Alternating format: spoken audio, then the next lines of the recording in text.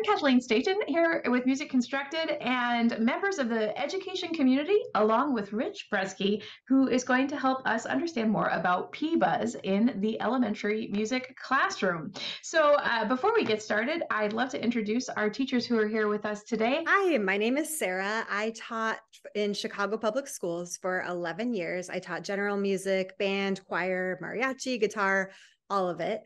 And currently, the last two years, I've been teaching in the suburbs of Chicago in Des Plaines, teaching general music, band, and choir. I'm Dan Welch, and I am a K 6 educator with the Campbell City Schools District, which is just a small uh, district just outside of Youngstown, Ohio, about halfway between Cleveland, Ohio, and Pittsburgh, Pennsylvania. Um, I am a K 4 general music teacher and a 5 6 uh, band director as well. And I've been doing that for about 15 years. Hi, my name is Brad Seagraves. I teach in the Gilbert School District in Arizona, which is a, a suburb of Phoenix. Um, Gilbert Schools is one of the largest school districts in the state. Um, and I've been with that district now. This is my 34th year. So my entire career has been in Gilbert. I have a little bit of experience teaching general music, but uh, most of my experience is elementary band grades five and six.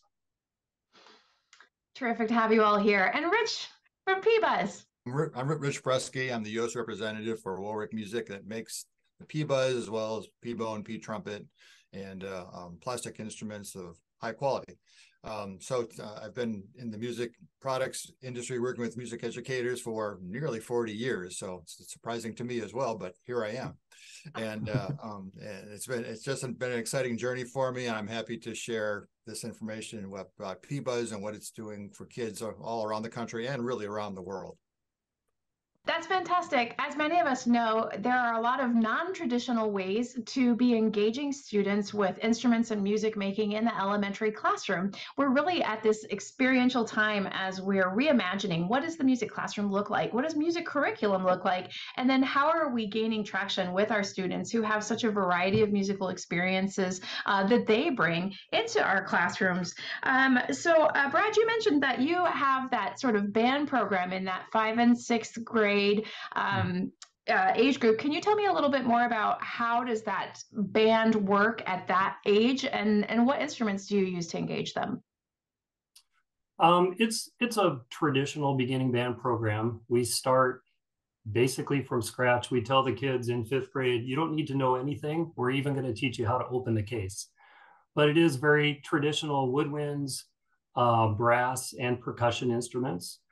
Um, we do use, or at least I use P-Buzz at the beginning stages, especially with my brass players to help them learn how to create a buzz and help them learn how to use proper airflow before we transition into the more traditional uh, brass instruments, including trumpet, mostly trumpet, trombone, and euphonium.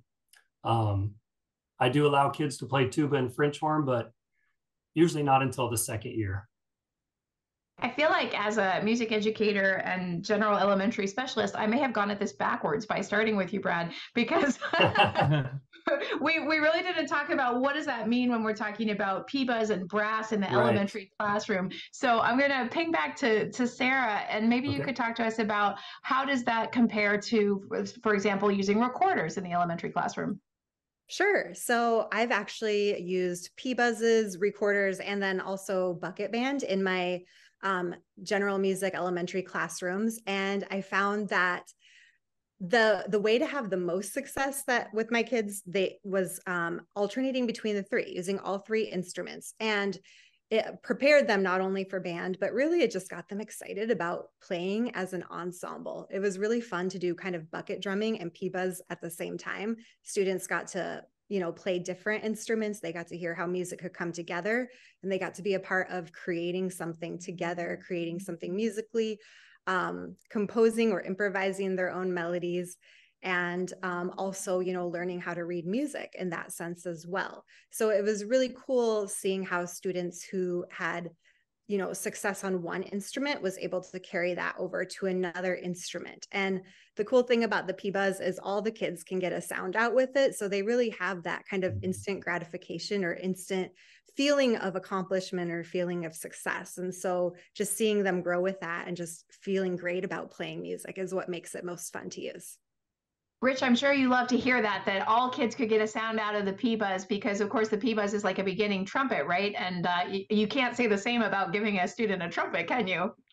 Well, I wouldn't. I wouldn't even cl- classify it as a beginning instrument. It's really an early learning instrument, and I think that uh, uh as we've experienced in first in the UK where this was introduced, and then in other parts of the world, and finally in the United States, we realized that we have to just continually back up into elementary to say, okay, what are we really doing here? What are we really teaching?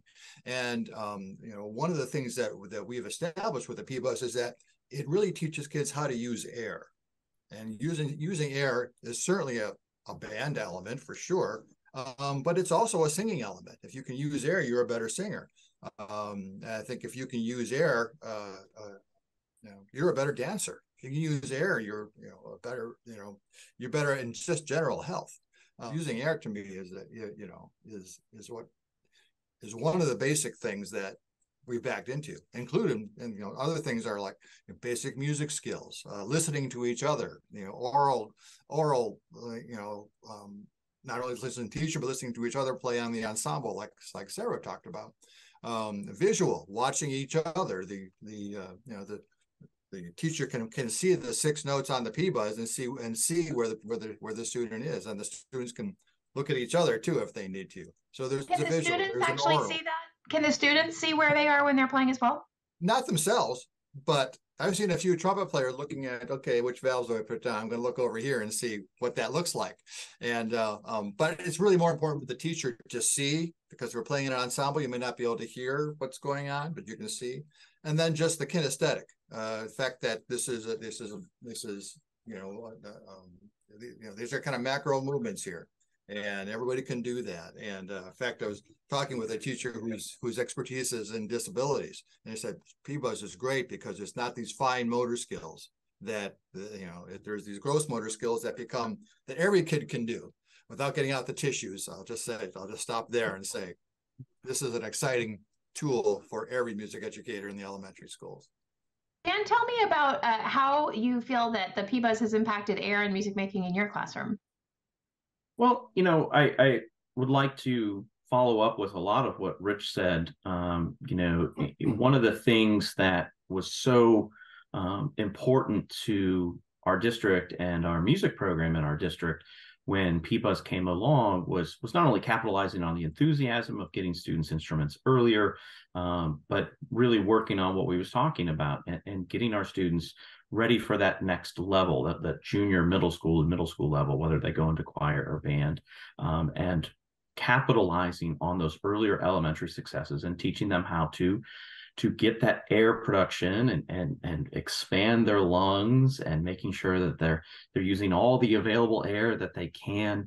Um, and one of the things we began to saw, uh, or excuse me, we began to see was um, how much of an improvement and our overall tone quality um, in our beginning band and our beginning choirs. We're starting to see students understand, you know, how these instruments work, um, whether it be a physical instrument like a P-Buzz or moving on to those uh, more traditional concert band instruments or the instruments that we carry here uh, in our throats with our vocal cords for our for our choirs.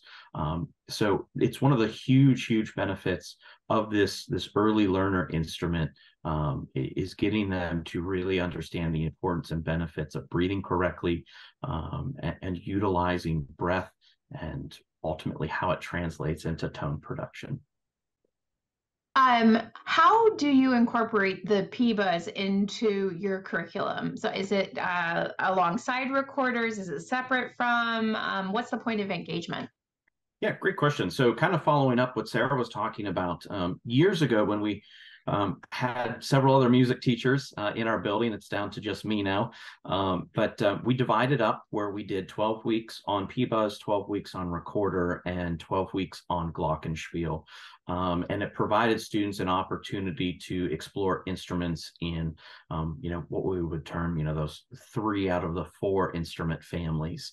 Um, and we would do that starting in fourth grade because of our our choir and band program beginning in fifth grade. It was an opportunity to see if students were interested in performing arts, um, and then having them focus in on what aspect of instrumental music that they were interested in.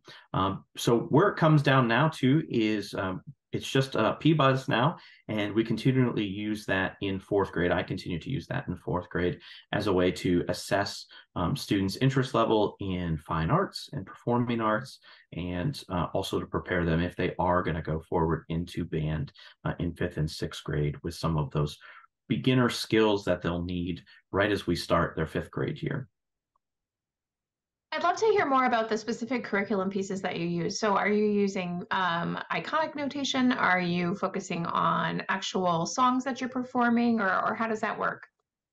So for my program, um, because I do P-Buzz over the course of a year now, I'm able to slow the rate of the program down a little bit and spend a little bit more time um, exploring iconic notation. So teaching note reading skills, um, teaching, you know, the music staff and some of those foundational level theory. Um, and generally by the end of October here, beginning of November, we're to the point where they're going to receive a P-Buzz, get a P-Buzz into their hands, and we're going to start reading music. Um, as far as the curriculum materials, one of the great things that um, Rich and Brad and, and, Sarah and I and many others have been working on um, over the last year is really coming up with what a lot of what we use in our own classrooms and creating uh, the P-Buzz Journey, which I'll, I'll hold up here, uh, which is a phenomenal new resource for for teachers um, to have as a curriculum piece to, to take step by step by step, um, not only for themselves as educators to prepare them, but to take their students along on this P-Buzz journey as well. So um, that has really refined my curriculum in use with with the P-Buzz, and um, I believe you know Brad and Sarah both have experience as well with with the ways in which they use this curriculum as as well in their classrooms.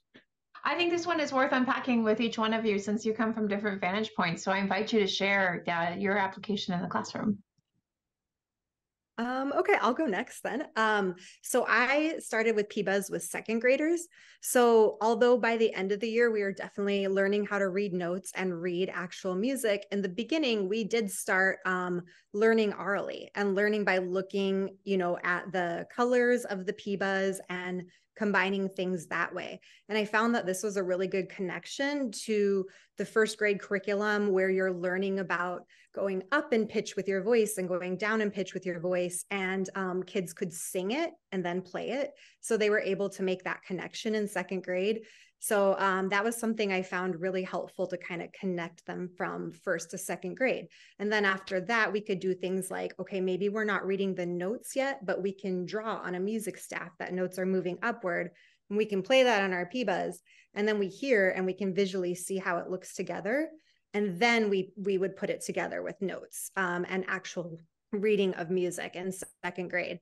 And then when I used it with my third graders, we would combine the two, doing some oral learning, some note reading.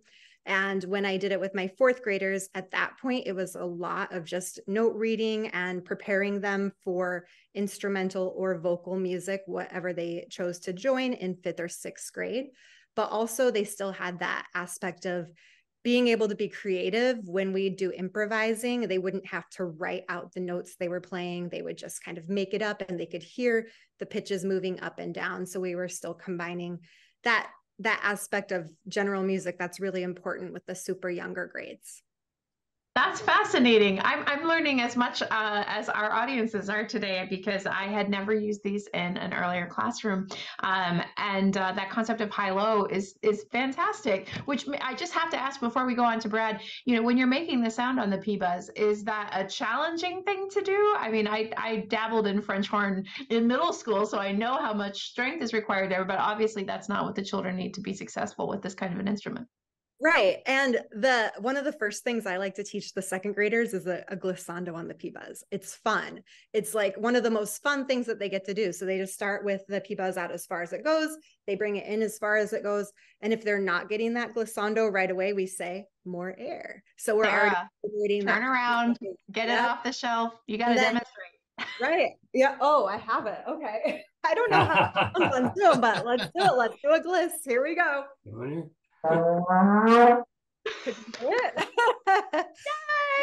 it's fun. It gets them using the air, but also that's that initial low high sound for those little kids that helps them make the connection. Sorry to put you on the spot there. No, it's fine. I don't mind. and what did what kind of structure did you have to do with your mouth in order to make that sound happen? Okay, so I generally, when I'm just teaching them, I want them to get a sound right away. So I say, say, mm, we make that mm sound with our lip. Then we think of buzzing like a bee. I usually will have them do it on the back of their hand if they're spread out far enough. Mm. Then we just put it on the instrument and they just like making silly noises. It's fun being silly when you're in second grade. My my experience with P-Buzz is fourth grade and uh, fifth grade. And but even a lot of those kids struggle to make uh, sounds on a traditional trumpet mouthpiece or even a trombone mouthpiece. The size just isn't right. And that's what I really like about the P-Buzz. The mouthpiece is is kind of that middle range size. It's between a trumpet and a trombone. And it, there's just something about how that fits, no matter how big or small the kid is. Um, that size of the mouthpiece is so much easier for them to get a sound on.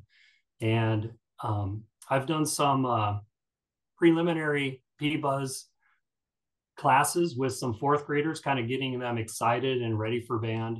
And um, I've gone into the general music classrooms as a volunteer and gone in and just said, Hey, I'm going to teach your classes for a week. Will you let me do that? And we just have fun with P Buzz, give the kids that initial experience. But then with my fifth graders at the very beginning of the school year, I don't get their mouthpieces out first. I have a whole set of P Buzz and mouthpieces that I give the kids just to teach them how to make that sound and use that airflow.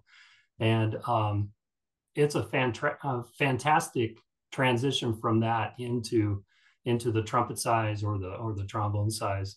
So uh, that's that's been my experience with it. And um, from a curricular standpoint, the P-Buzz Journey book has a lot of the uh, activities and things that I use in my beginning band classroom to get kids to use better airflow, to get kids to uh, produce uh, better buzz. Um, there are a lot of tips and tricks in there for the non instrumental teacher as well like the like what sarah just described with creating the buzz and um, doing things like learning how to change pitch or just activities to you know games i like to call them with my kids let's play a game and we're going to learn how to use our air in the process right I'm really glad that you touched on that uh, accessibility, not just for the students, but also for the teachers.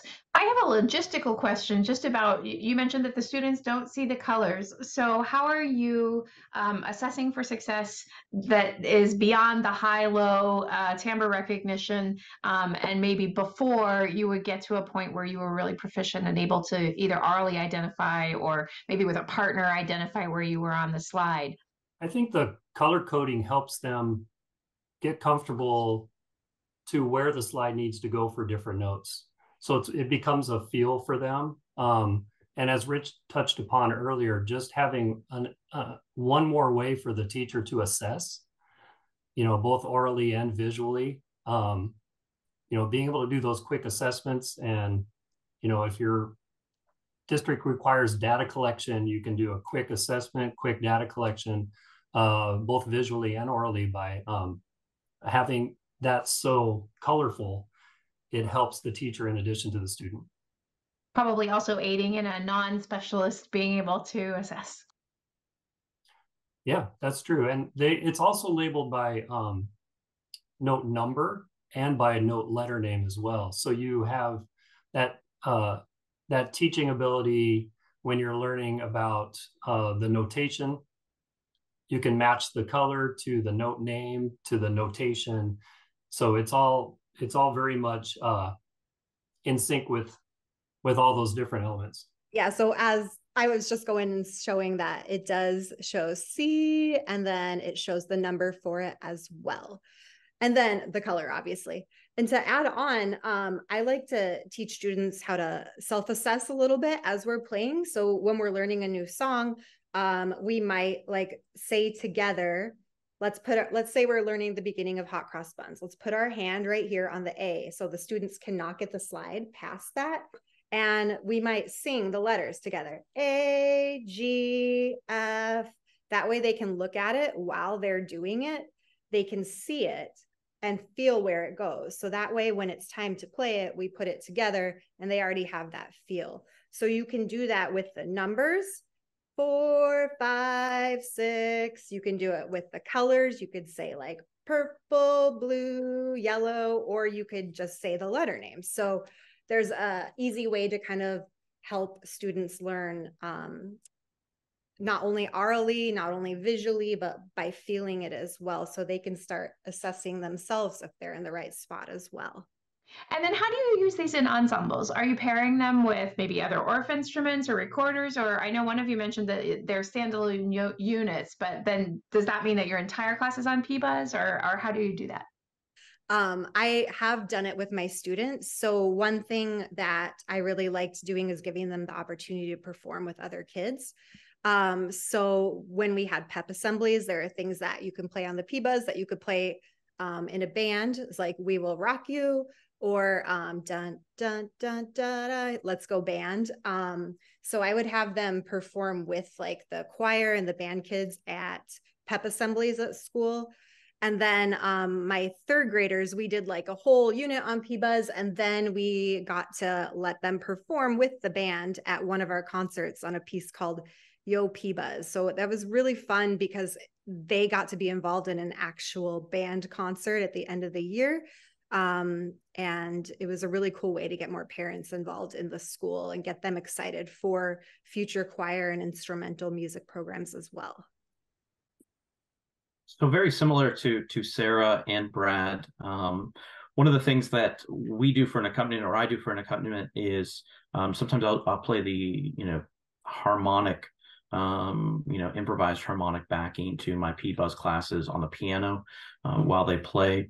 I have four sections of, of fourth grade students. So uh, when we get to concert time, each section or each class will have different repertoire to perform from. So they're getting to hear what, you know, the other classes um, have been learning.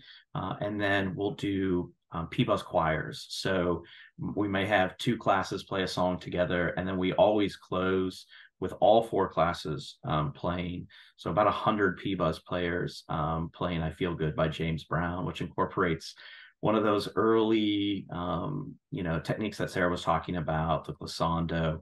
Uh, it's a lot of fun. You know, the parents get really involved with it and excited with it as well. Um, so, you know, I think one of the really great things uh, that this curriculum provides is the flexibility um, to accompany the P-Buzz, whether it be through just solo P-Buzz or small group P-Buzz or mass P-Buzz choirs, vocals.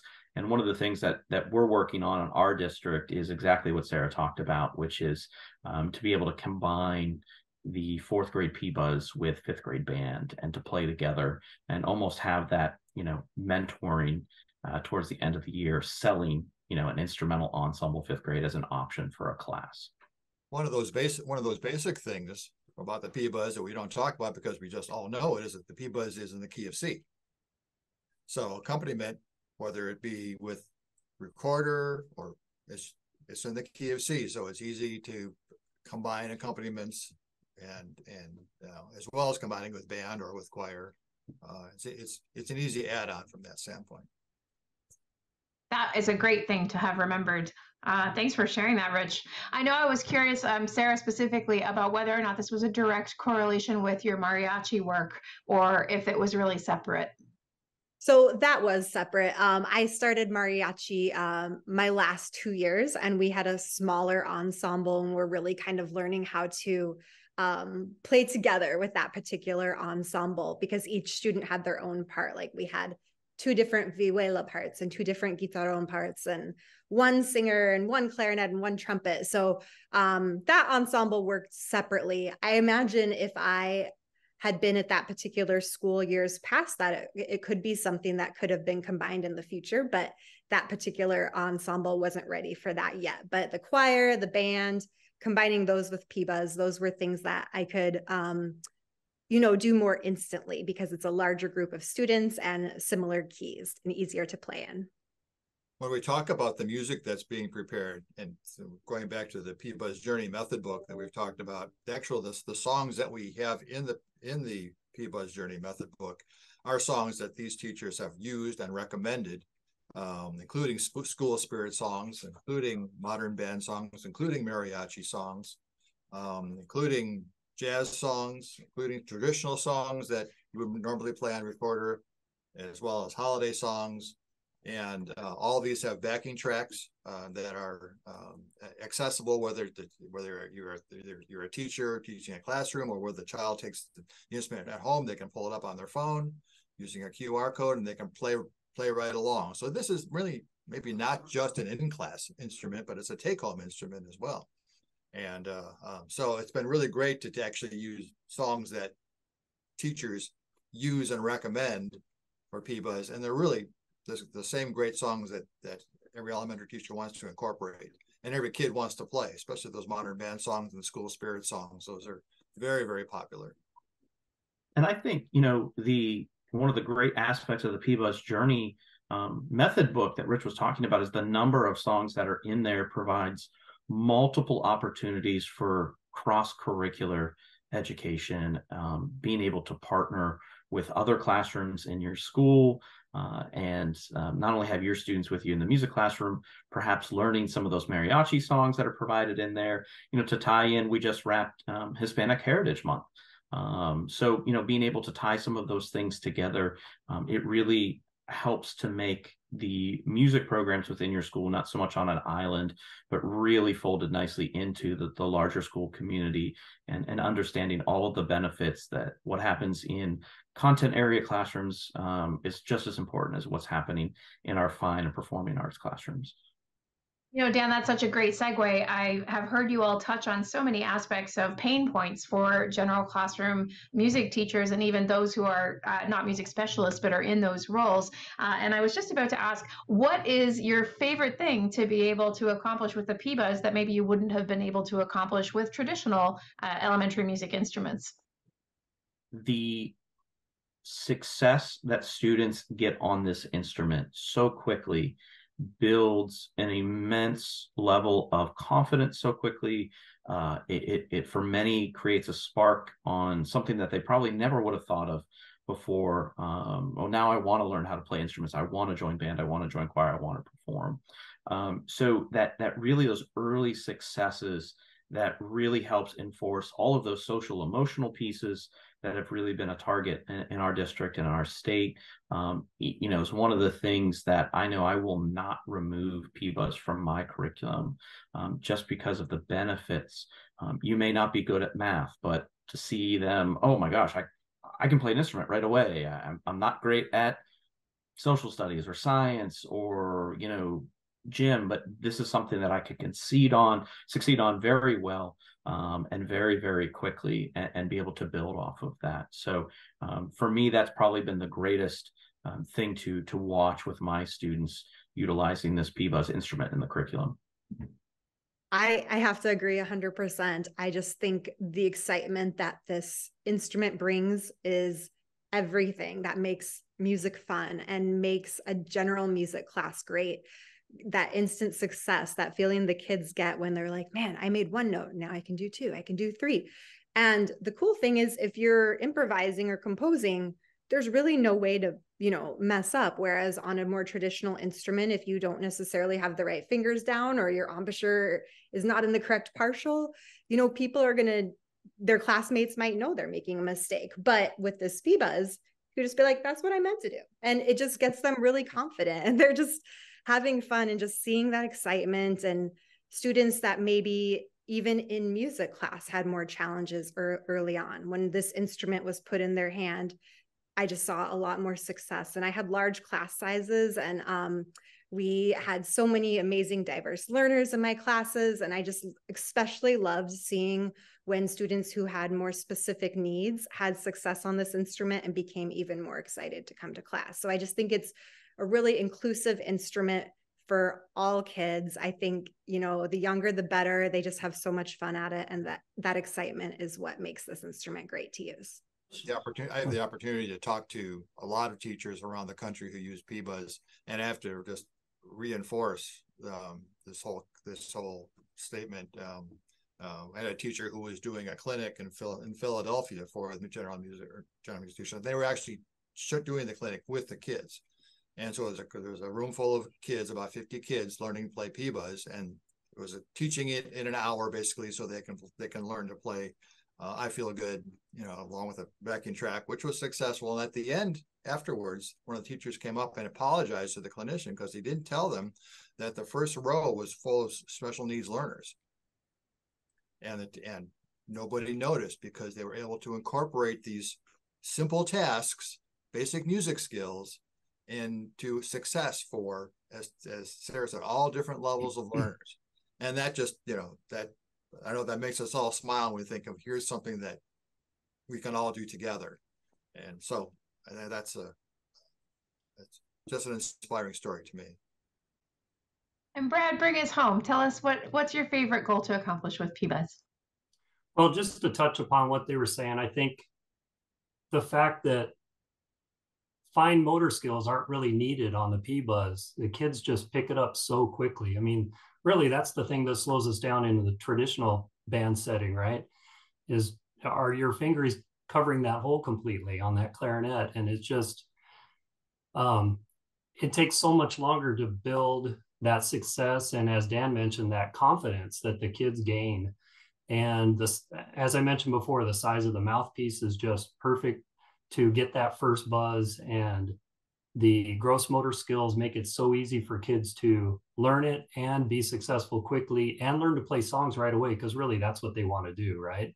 Right. They want to make a sound for sure but hey it's all about making music and that's the thing i i love the most about pBuzz is just the the accessibility for all students the baby bear interaction, right? Papa bear, mama bear, it's the just right, everything in between. um, a new way to look at maybe non traditional winds in your elementary classroom. Well, Brad, Dan, Sarah, and Rich, thank you so much for being here to talk with authority about what does it mean to incorporate this instrument into your classroom. And it was truly inspiring to hear about both the successes of your students and also about all of the ways that pBuzz can impact not just your classroom and your students, but the greater community of parents and teachers as well.